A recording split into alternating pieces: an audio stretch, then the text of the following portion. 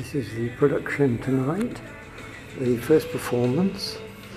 Uh, Jessica Martin replacing Denise Van Outen. Um, Gary Wilmot still in it. A production called Big, prior to London's West End, although I haven't seen any announcements as to where it's going to go. Saturday the 5th of November, 16. And another advert with photographs this time. It's at the Theatre Royal Plymouth. So there's the main characters.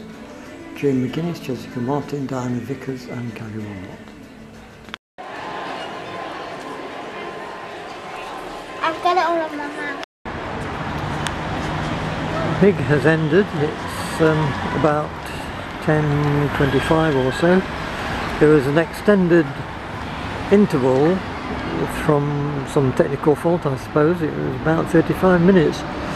I was disappointed in this. Um, it was fairly ordinary.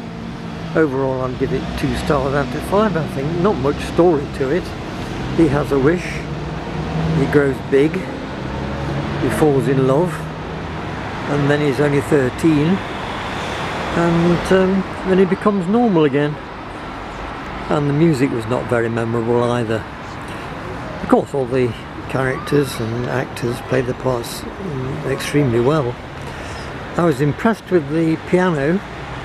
They had the piano keys on the stage and they danced on the keys and the colour changed and the orchestra played the tune that they were tapping out with their feet. That was very impressive. That bit was worth five stars. I wouldn't have thought the musical was worthy of a West End production. Um, if it does go to the West End, I don't think it'll run very much.